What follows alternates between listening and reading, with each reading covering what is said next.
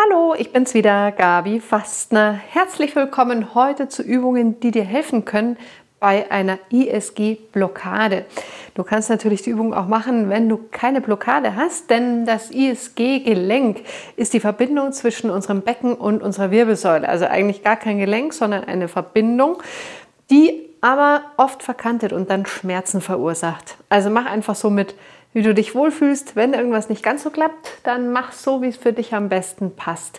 Wichtig ist, dass wir einerseits mobilisieren, durchbewegen, andererseits aber auch die wichtige Muskulatur stärken, die uns hier wirklich gut festhält in unserer Mitte. Und beides werden wir tun. Auf jeden Fall richte dich einmal auf, Brustbein anheben, hüftbreit stehen. Knie ist wichtig, dass die jetzt so ein bisschen durchlässig sind. Du kannst gleich mal so weitermachen. Deine Knie beugen und strecken dann merkst du schon, bewegt sich dein Becken. Müsste eigentlich schon ganz angenehm sein hier hinten, oder? Ganz locker lassen.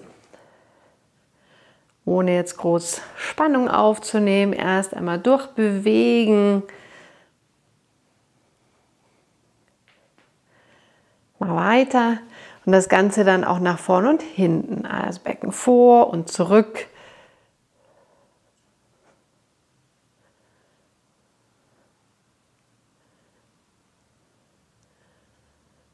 Kannst, wenn du mehr Kontrolle möchtest, auch deine Hände hierher nehmen. Dann merkst du, dass du vielleicht dich bewusster bewegen kannst.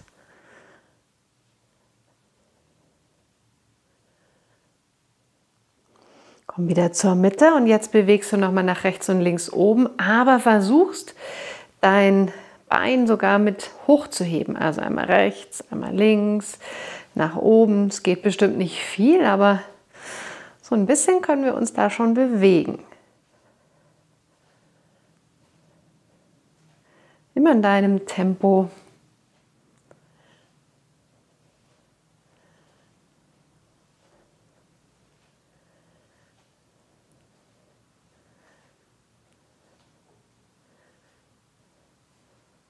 Angenehm, oder? Sehr gut. Jetzt bleibst du dann auf einem Bein stehen und das andere Bein schwingst du durch. Du kannst dich auch irgendwo festhalten, versuch möglichst locker dein Bein zu schwingen.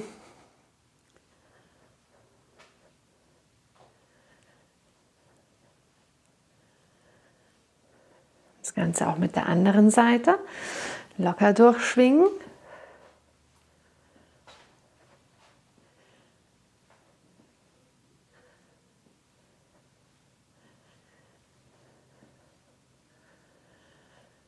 Und nochmal wieder lösen, wechseln und jetzt das Bein strecken, dass du schwingst, Ferse schiebt und du kreuzt diagonal und deine Arme gehen, gehen gleich mit.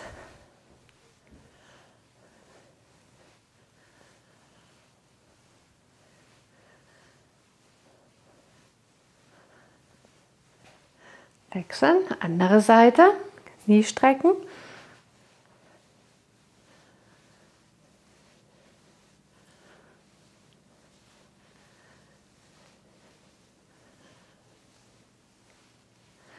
Zur Mitte kommen und wechseln. So, jetzt noch mal ein Bein heben, deine Ferse hinten anheben, die Knie aneinander und jetzt bewegst du das Knie nach oben und wieder zurück. Nochmal hoch und wieder zurück. Kann sich auch festhalten.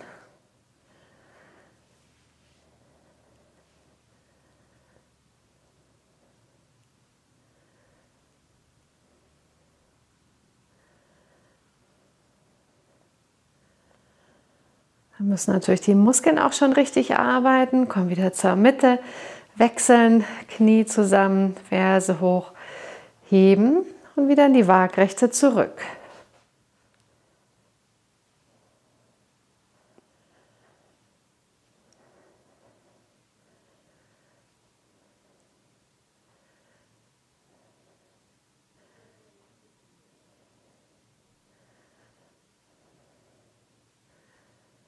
Noch einmal. Komm wieder zur Mitte zurück. Sehr gut. Füße hüftbreit aufstellen. Stütz dich auf die Oberschenkel. Fingerspitzen nach außen. Mach deinen Rücken ganz rund. Kopf rein. Und nochmal ganz gerade Noch einmal ganz rund, Kopf rein. Und gerade.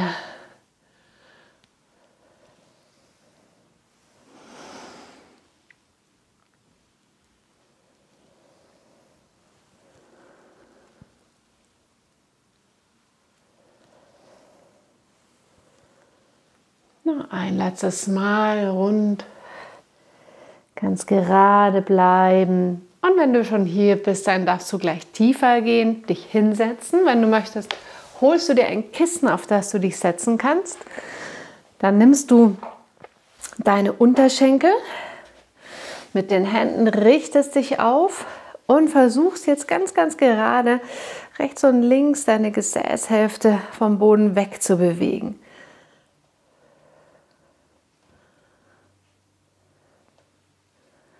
Nochmal lockern.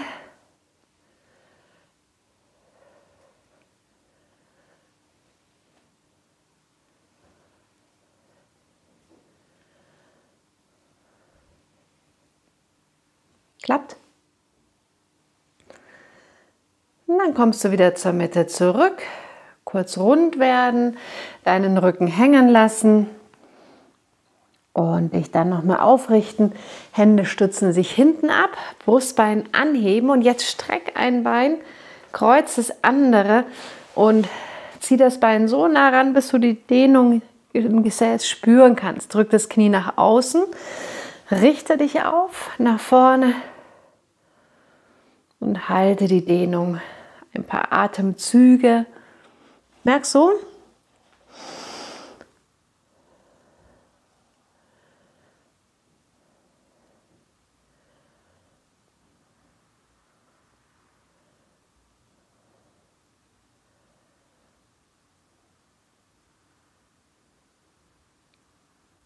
Dann entspann dich, wechseln, anderes Bein kreuzen, ranziehen, Knie nach außen drücken, aufrichten, Gesäßdehnung spüren.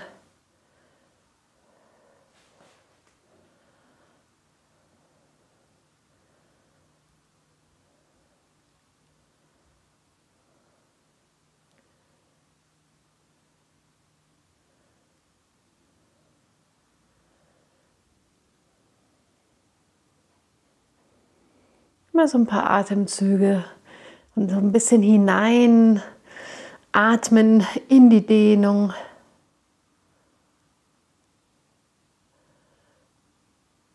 Und dann ganz langsam wieder zurückkommen zur Mitte. Oberschenkel fassen, in die Rückenlage abrollen. Komm tief, Beine breiter ist deine Matte, Arme zur Seite und lass deine Knie nach rechts wieder nacheinander zurück und nach links kippen. So mobilisierst du deine Hüftgelenke, aber auch das ISG.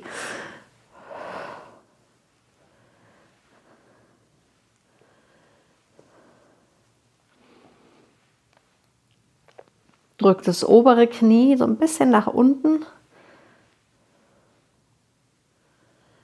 und spür immer hinein, was für dich ganz besonders angenehm ist. Vielleicht die Füße enger zusammen oder weiter auseinander.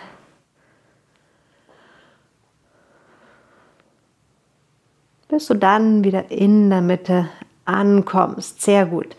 Dein rechtes Knie anheben, deine linke Hand mit dem Handballen gegen den Oberschenkel und jetzt gibst du Druck so richtig fest mit dem Handballen, Druck gegen den Oberschenkel. Spür deinen tiefen Bauchmuskel. Komm, komm, komm.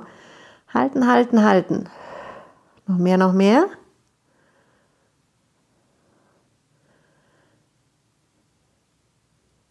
Und Seite wechseln. Das ist der tiefe, quere Bauchmuskel, der ganz wichtig ist für die Stabilität im unteren Rücken. Jetzt gibt noch mehr Druck. Fest, fest, fest. Handballen gibt Druck.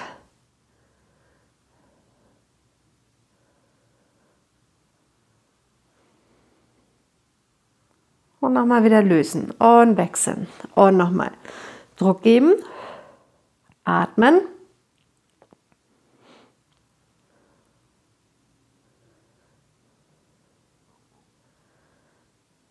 Und wechseln.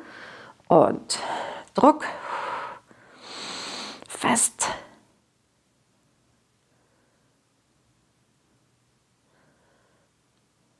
Und wieder zur Mitte kommen. Beide Beine nacheinander unten nach unten strecken, Arme neben den Körper und jetzt Fußspitzen anziehen und schieb deine Fersen weg von dir. Beweg eigentlich wie im Stehen jetzt dein Becken hoch, die eine Seite, die andere, vielleicht auch die Beine etwas weiter öffnen. Kommst du ein Stück höher im unteren Rücken. Und das Meer schließt, bist du so ein bisschen tiefer.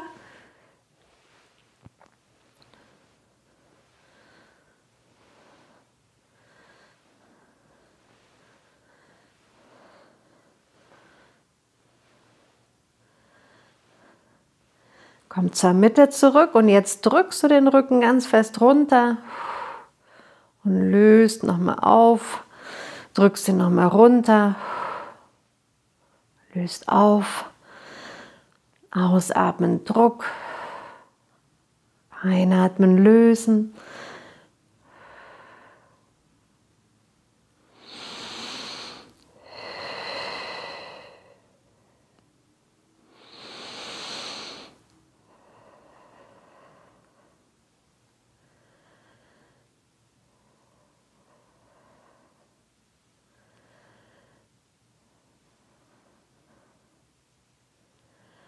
Noch zweimal Druck geben.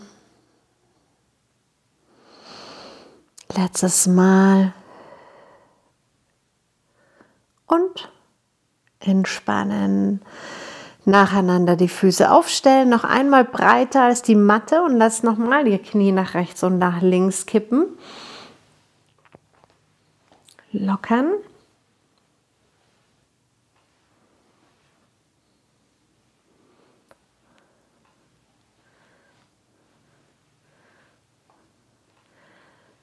Und irgendwann bleibst du dann auf einer Seite und über die Seite drückst du dich dann gleich eins weiter zum Sitzen. Und jetzt kannst du die Übung gleich im Stehen machen oder im Knien, so wie ich. Ich zeige dir beide Varianten. Komm mal auf die Füße, stütze deine Hände auf, die, auf den Boden, komm auf ein Knie, so, wenn du möchtest. Erste Variante, Knie über der Ferse, Knie unter dem Becken. Oder du kommst hoch, bleibst hier, wenn es im Knie nicht geht, Ferse in der Luft, genau dasselbe. Spann dein Gesäß an und drück hier nach vorne, dass du die Dehnung Hüftbeuger spüren kannst. Im Knien, vielleicht auch auf dem Kissen, kannst du nochmal Gesäß anspannen, jetzt ein Stück noch weiter nach vorne dich sinken lassen. Du merkst die Dehnung Hüftbeuger, oder? Also stehen oder im Knien, wie du möchtest. Mit jedem Ausatmen ein Stück weiter in die Dehnung hineinziehen. Gesäß anspannen, dran denken.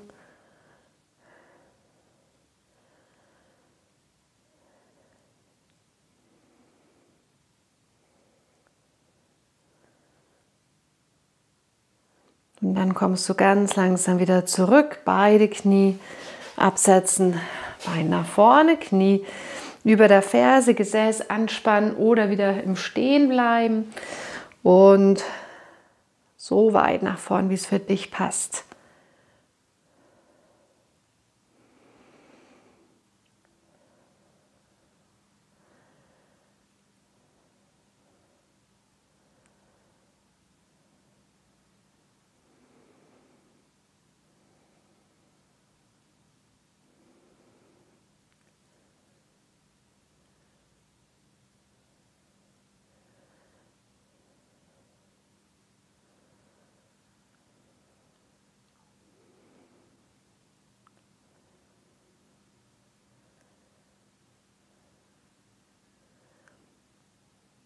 Und dann langsam wieder zurückkommen.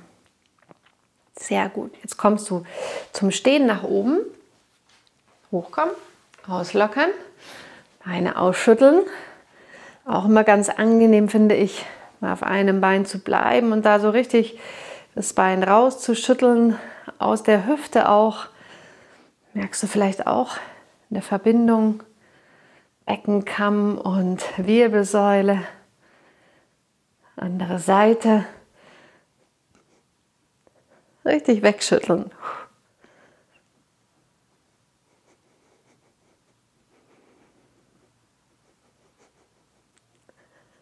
Dann wieder beide Füße hüftbreit aufstellen und beginne nochmal so wie wir oder starte jetzt mit der Bewegung, mit der wir angefangen haben. Rechts und links dein Becken kippen. Ich hoffe, es fühlt sich etwas freier an. Falls du öfters mit so einer Blockade zu tun hast, kannst auch noch mal nach vorne kippen. Vielleicht möchtest du auch dein Becken kreisen. Schau mal, was dir gut tut jetzt. Meistens spürt man selber am besten, was einem gut tut. Auch in die andere Richtung, wenn du kreist. Und dann wieder zur Mitte kommen, lang strecken. Nimm den ganzen Körper in die Bewegung, indem du dich so richtig räkelst und streckst. Und dann öffnest deine Arme und entspannst. Vielen Dank fürs Mitmachen. Wie fühlt sich's an? Gut. Ich hoffe. Wenn es sich gut anfühlt, gerne gefällt mir drücken, netten Kommentar hinterlassen, wenn du magst. Ansonsten freue ich mich natürlich, wenn du Lust hast, meine Arbeit wertzuschätzen. Vielen Dank. Den Link findest du unter dem Video in den Beschreibungen, der heißt Deine Unterstützung, mit was es dir wert ist, zum Beispiel im Monat 5 Euro oder 2,50 oder 10 oder 20, was auch immer. Ansonsten freue ich mich natürlich, wenn du ganz einfach so dabei bist. Es gibt übrigens eine Wirbelsäulen-Playlist auf meinem YouTube-Kanal oder ein Physio-Fitness. Also du kannst mal in beide reinschauen oder du gibst einfach ISG Gabi Fasten in die Suchzeile von YouTube ein. Dann findest du noch mehr Videos, die dir auch gut tun könnten. freue mich, wenn wir uns ganz einfach so bei unserem nächsten gemeinsamen Training wiedersehen. Bis dann!